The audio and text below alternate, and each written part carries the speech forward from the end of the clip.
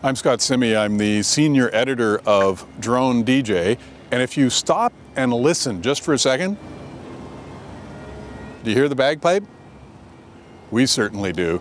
And man, we wish that Piper wasn't here. But what we do have here is the DJI Mini 2.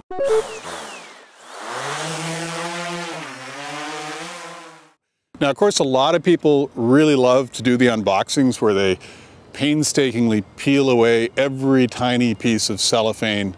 I think that's dumb. Here it is. It's right inside the box. Look at all the time we just saved.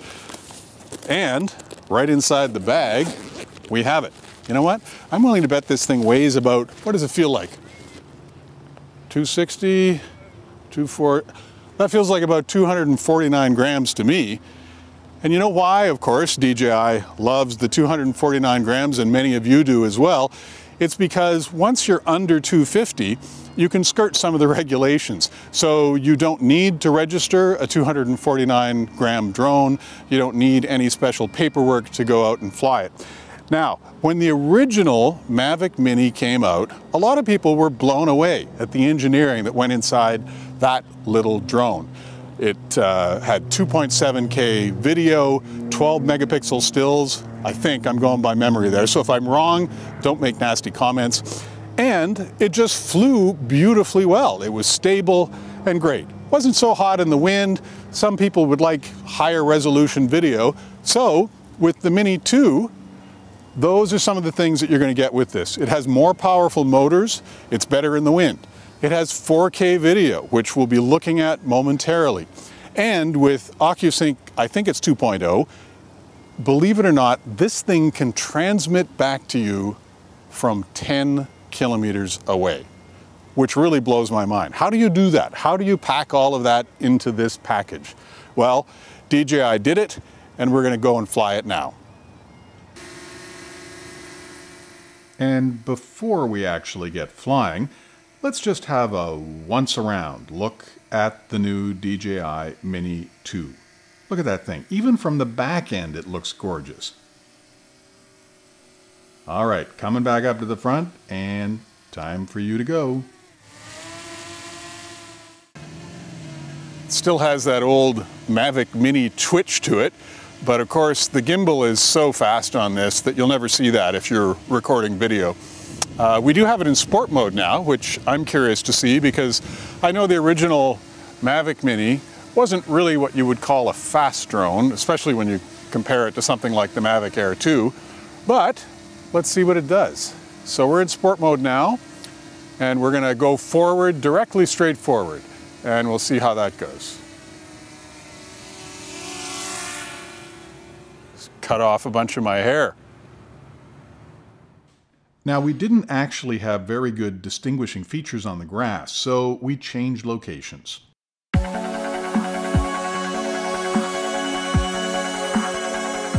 All right, ready, set, go.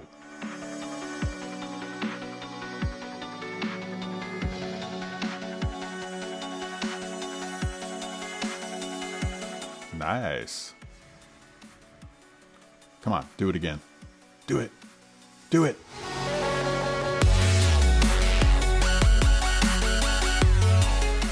Hooey.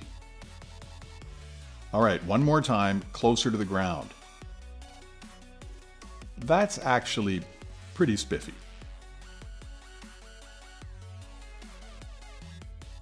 So the added torque is really nice, and in sports mode, it actually feels quite fast for its size. But we also wanted to try out the quick shot feature so we tried out all of them.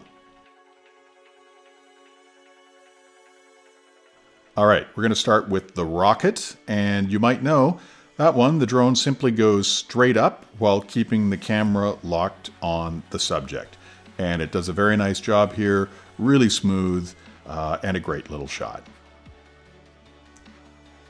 This one is the Dronie, where the drone ascends while going backwards and once again keeps the camera locked on you. Oh, look at that, right between those trees. You think I planned that? I, I did, actually. I did plan that. And this one, as you might be guessing, is circle. Were I to do this again, I would not try to turn myself around and follow the drone. Dizzy.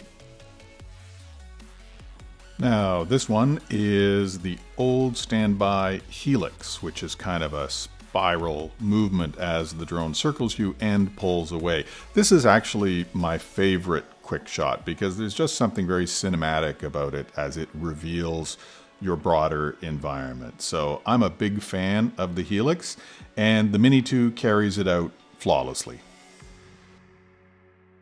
And finally, we have the new quick shot of the bunch. This one is called Boomerang, and you'll see why.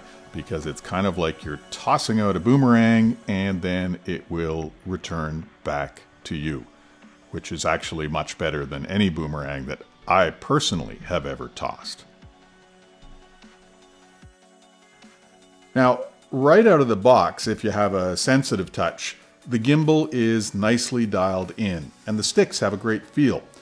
Now, the remote, which of course is the same as on the Mavic 2 Air, is really an upgrade in my mind, though it does add a, a little bit of bulk to the package.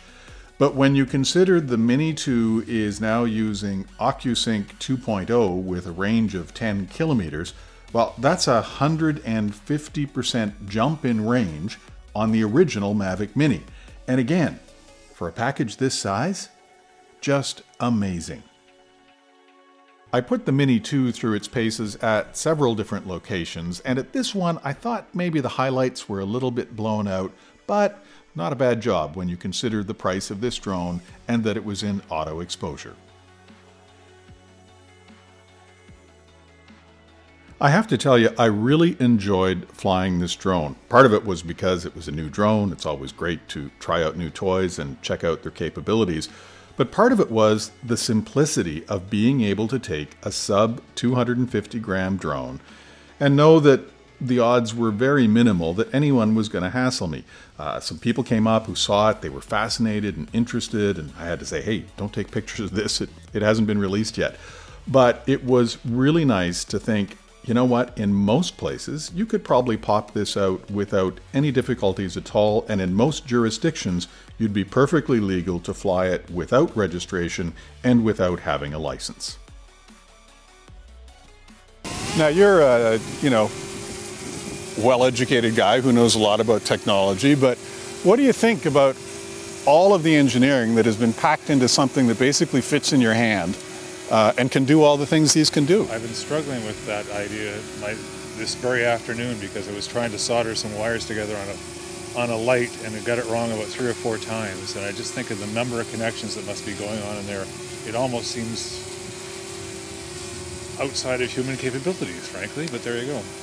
It's pretty amazing um, when you think of just how much is packed into that and the fact that they improved over the original Mavic Mini. And really, I think we can say this is a fairly substantial improvement over the original, the original Mavic Mini, which was itself really a terrific little drone. You're going to try flying it six miles away? That would be against the law, Dave.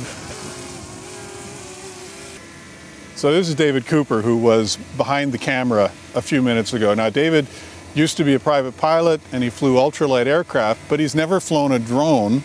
Ever. Until Ever. today. And so we just showed him the basics, how to tap the button for takeoff and uh, to initiate video recording. What do you think? I, am stunned. I, I, can't believe how intuitive it is. Um, I was terrified that, you know, because there's so many, so many complex directions you've, you've got to you've got to take into consideration. But it seems to be, you know, like I can make it do that or make it do that and not crash it so far. So what do you think of being able to buy one for around the $500 price uh, range that can I, shoot 4K video? Don't tell Peggy, but I will be getting one very shortly. Nice, nice. I'll, I'll send you a link, by the way.